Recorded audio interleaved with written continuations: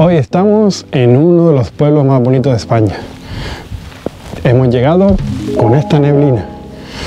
A ver qué os parece. Poco a poco iremos enseñando un recorrido por este hermoso pueblo de España. En este recorrido veremos por qué el transporte principal del pueblo es la carretilla y por qué no hemos tenido que mojar los pies. También probaremos el potaje típico de la zona.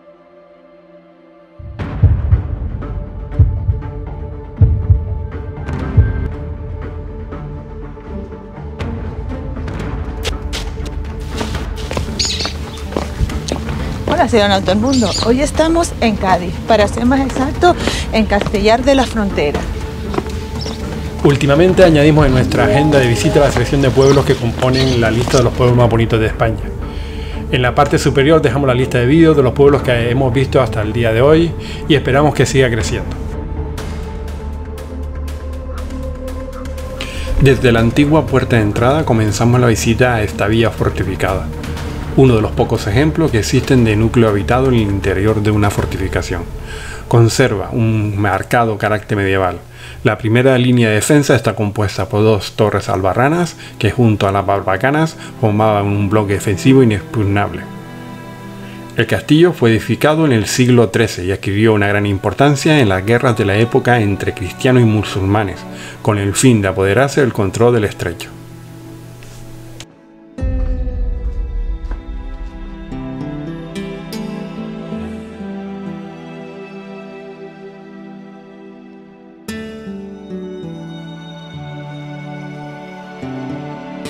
Vuelvo a salir por la puerta principal donde antiguamente había una reja mientras contemplo la altura de la muralla y de la torre. Inma observa desde arriba pues el fondo del peñón de Gibraltar y el estrecho que separa Europa de África.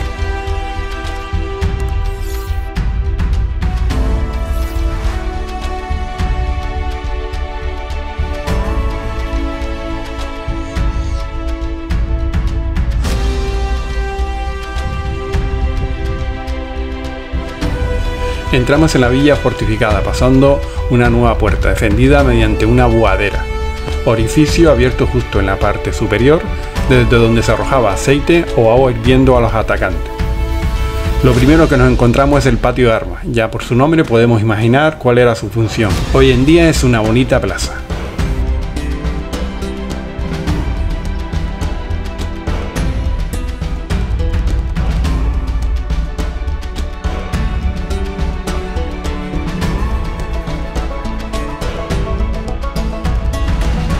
Comenzamos la visita por el interior de la fortaleza, desde la Plaza de Armas nos vamos hacia la Plaza del Salvador que se encuentra muy cerca y aquí encontramos pues el único hotel en el interior de la fortaleza, el mismo Alcázar. También encontramos una iglesia donde podemos ver el corredor que unió el Alcázar con la iglesia por donde pasaba la nobleza para presenciar las misas. Aquí encontramos un punto de información digitalizado donde podemos consultar diferentes datos de interés de la zona.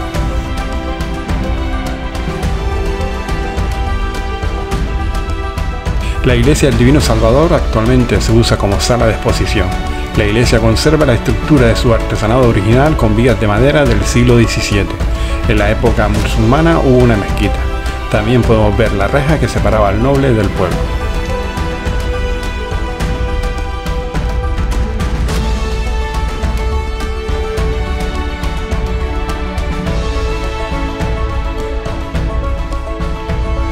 Este paseo por Castellar de la Frontera llegamos a uno de los rincones más fotografiados, hablamos del Balcón de los Amorosos. En la antigüedad era llamado Cancón, era por donde se tiraban todos los desperdicios de la ciudad fortaleza. Este balcón al día de hoy es el único balcón público para asomarse en la muralla. Una impresionante vista hacia el pantano de Guadarranque. En la actualidad los enamorados ponen aquí sus candados como podemos comprobar para jurarse amor eterno.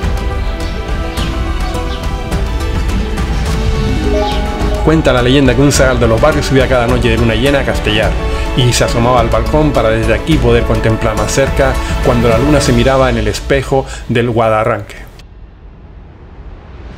En este balcón encontró a Moraima, la hija del emir, allí donde se enamoró de ella.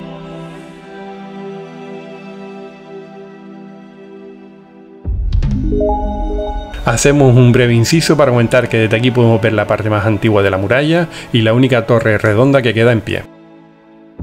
Cada noche de luna llena se amaron y en ese lugar fue donde fue sorprendido por la guardia del emir, escamado ya de tanta salida de la niña y de tanta luna.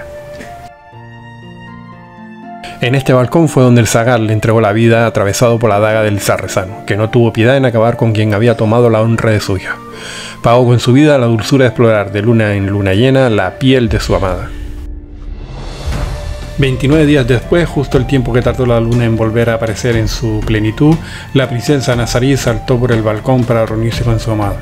Toda una historia de amor.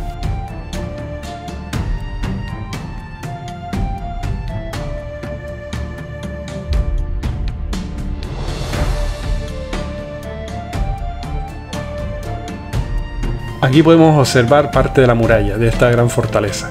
Como bien comentamos al principio del vídeo, no íbamos a mojar los pies, y eso es debido a que vamos a visitar el aljibe, una estructura con más de miles de años que aún sirve para recoger el agua de la lluvia. Antes tenía una mayor pendiente, gracias a las últimas lluvias tiene bastante agua.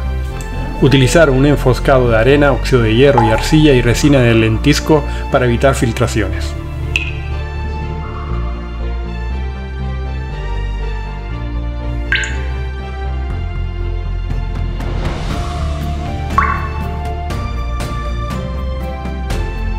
Ya en lo alto de la muralla disfrutamos de este impresionante paisaje, así como la vista del centro de la villa fortificada, campanario y las torres de flanqueo. También tenemos cerca la Torre Medina con una base cuadrada de 6 metros de lado. Para realizar la visita de varios puntos como este del Aljibe debemos contratar una guía. Es una buena opción para conocer la historia y algunos rincones de la fortaleza. En la caja de descripciones dejamos el número de contacto para disfrutar de una ruta guiada.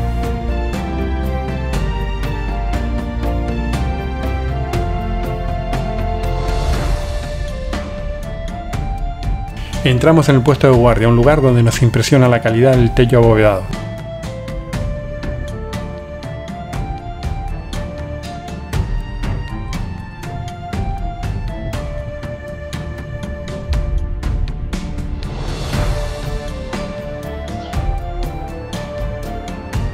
En la Plaza Corralete se encuentra nuestro alojamiento. Hemos elegido esta zona para pasar tres noches en la Encastellar de la Frontera, conocido como el Pueblo Viejo.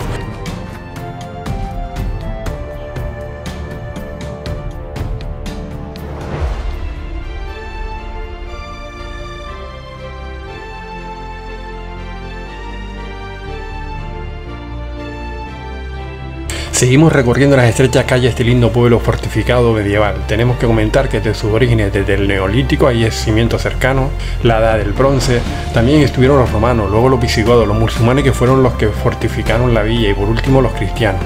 En 1971 la mayoría de la población se mudaron al nuevo pueblo de Castellar de la Frontera, que se encuentra a 9 kilómetros.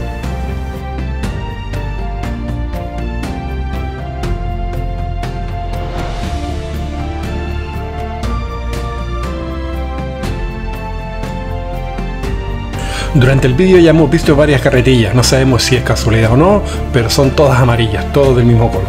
Ya hemos visto cómo son las calles dentro de la villa fortificada, estrechas y sinuosas. Por este motivo, el transporte más usado para mover mercancía es la carretilla. Durante nuestra visita encontramos varias tiendas donde venden productos artesanales. Vamos llegando a una zona donde se encuentra uno de los pintores afincados en la villa fortificada ya hace unos años. Y desde aquí tenemos una buena vista del campanario.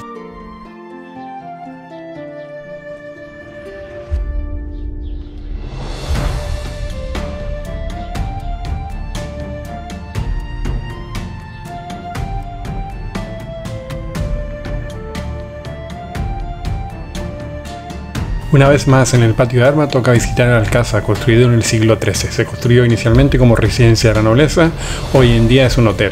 El Alcázar fue durante siglos la residencia del alcaide musulmán y luego de los condes de Castellar. Podemos ver la Plaza del Salvador, su iglesia y el jardín del Alcázar con el segundo pozo de la villa.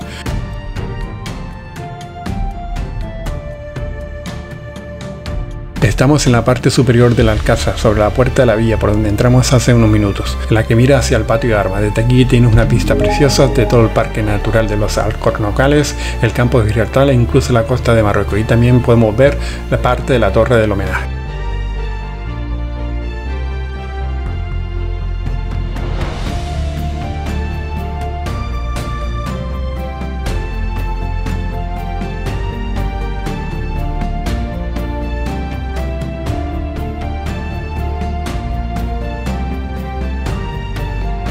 Vamos a recorrer parte de la periferia de la muralla de esta villa fortificada. Desde la puerta principal mirando hacia el peñón de Gibraltar vamos a caminar por el lado izquierdo. La primera imagen que hemos visto es de la vertiente derecha, volviendo a pasar por debajo de las torres de flanqueo, así como del puesto de guardia con su techo abovedado que vimos hace unos minutos. Terminaremos en una zona de aparcamiento donde podemos contemplar la Torre Medina. Impresionante. Y terminamos también con una pista del pantano de Guadarranque.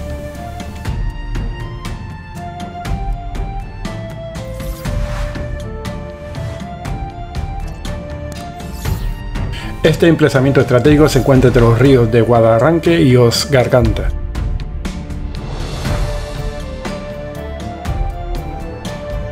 Sobre la gastronomía podemos decir que es deliciosa. Hemos comido en la venta de Carmen que se encuentra en la periferia de la villa fortificada. Una venta regida por una familia encantadora. Aquí hemos probado el potaje de tacarninas, plato típico de la zona y es la primera vez que lo hemos probado, muy bueno. En el interior de la villa fortificada podemos tomar un vino de la tierra o una cerveza acompañado por un buen queso en la peña flamenca Son del Duende.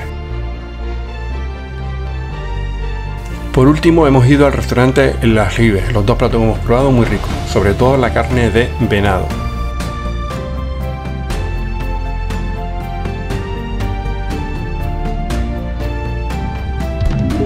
Mirador del pantano Guadarranque. Desde el mirador podemos observar la fortaleza a lo lejos y nuestra izquierda pues quedaría el pantano. El embalse se alimenta del río Guadarranque y del arroyo de los Codos, su principal afluente. Tiene una cuenca con una superficie de 143 kilómetros cuadrados.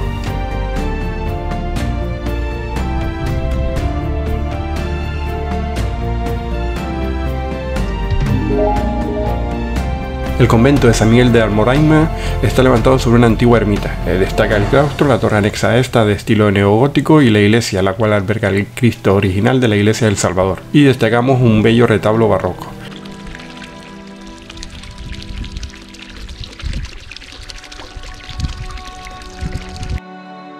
Fundado en 1603 para dar cobijo a los frailes de la Orden de la Merced. Ocuparon este lugar hasta mediados del siglo XIX. El convento hoy en día es un hotel.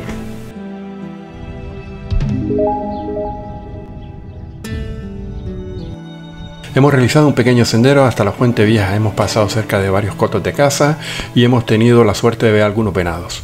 Era muy común encontrar fuentes en el exterior de la fortaleza que servían para tener provisiones de agua.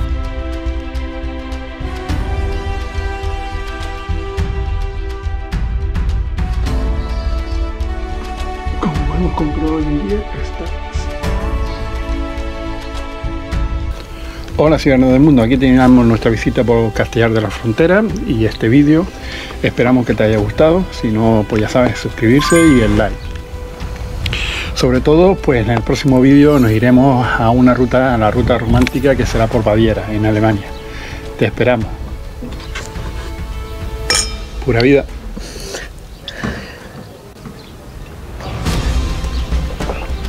Y dale a like.